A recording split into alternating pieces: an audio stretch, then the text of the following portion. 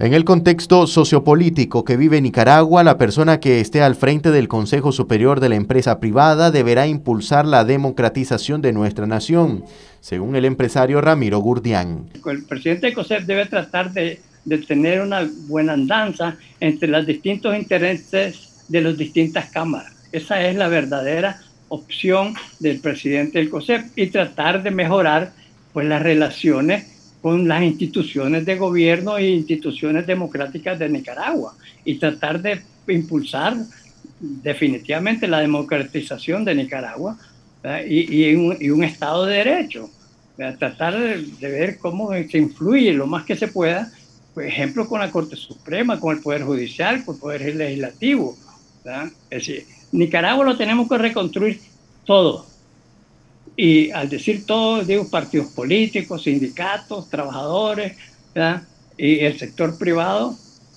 Y, lo tenemos que hacer todos los nicaragüenses. COSEP no va a resolver el problema de Nicaragua. COSEP va a ayudar a que todos los nicaragüenses nos pongamos de acuerdo.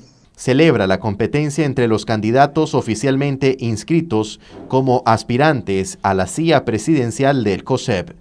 Hay dos candidatos eh, Michael Hill, que fue confiscado, dicho sea de paso, por, por, eh, este gobierno, eh, y el otro es Mario Janón.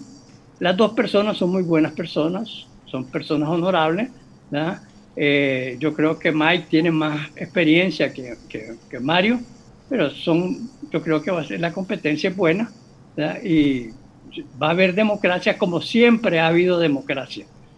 Las veces que José Adán Aguirre ha sido electo es porque todas las cámaras y todo el sector privado, grande y pequeño, le ha dado su respaldo y no ha habido otro candidato.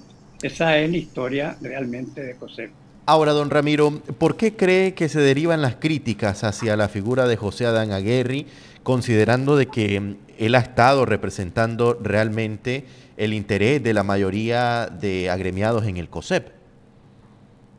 Bueno, porque nunca puede ser monedita de oro.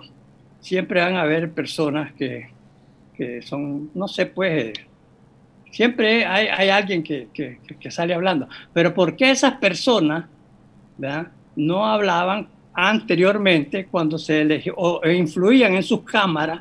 Y porque todas esas personas que hablan ordenaban a sus cámaras que votaran por José Adán. José Adán no, nunca ha estado ahí impuesto por alguien sino que fue de consenso todo el tiempo. No hubo ningún año donde hubo algún opositor a José Adán.